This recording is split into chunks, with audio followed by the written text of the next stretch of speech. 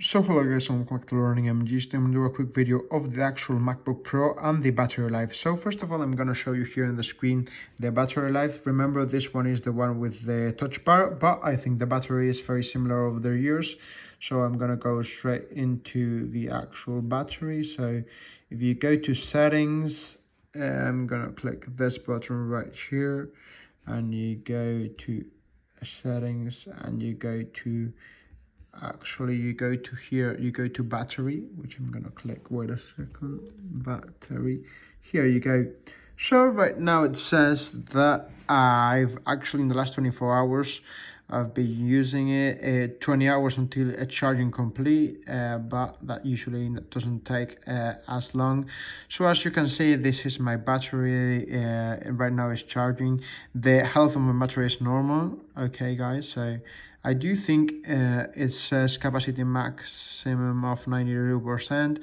I do think that the battery of the Mac in general is quite good. Now, you know, guys, that I'm not into actually always um, talking about specifics and details. So I'm going to go straight to the point because, you know, you guys can actually look for the specifics on the Apple uh, actual, uh, uh, let's say, page. So, you know, I'm always about uh, practical uh, data that doesn't appear on the Apple actual, on the Apple data storage, let's say. So first of all, I'm going to say real quick, I do think it has a great battery. this computer has almost two to three years and it runs smoothly one to two days using it quite a bit.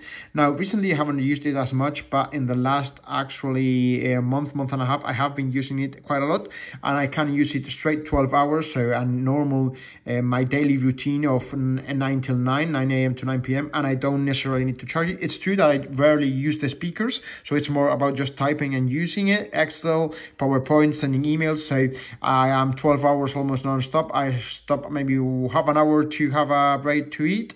Recently, I've been using another computer. That's why this one is my secondary right now, and I do think it works amazingly well. Now, in terms of battery life, you see, I've been using it, charging it, using it as I wish so. So I haven't actually been pretty petty with the charging. I just charge it every time I have a second, I charge it, and it still has at 92% of health. So I do think this is a great battery.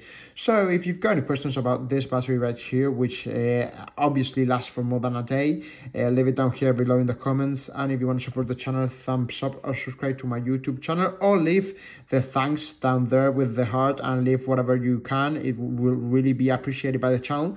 And thank you very much for watching as always.